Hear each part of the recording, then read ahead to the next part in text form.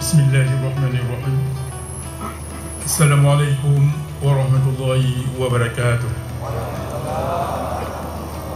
الحمد لله رب العالمين والصلاة والسلام على أشرف الأنبياء والمرسلين وعلى آله وصحبه أجمعين بسم الله الرحمن الرحيم وقل جاء الحق وذهق الباطل إن الباطل كان زهوقا Alhamdulillah kita bersyukur kepada Allah Subhanahu Wa Taala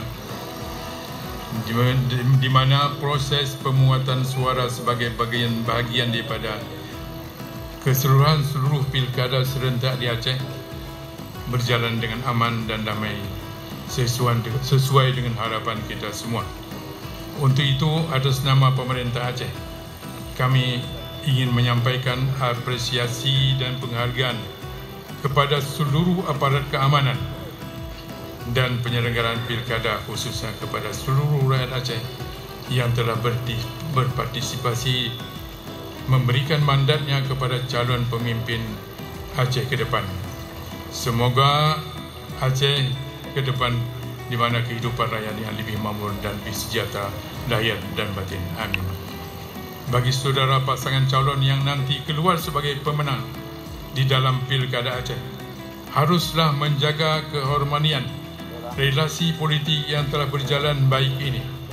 Lakukanlah upaya rekonsiliasi relasi politik dengan seluruh pasangan calon.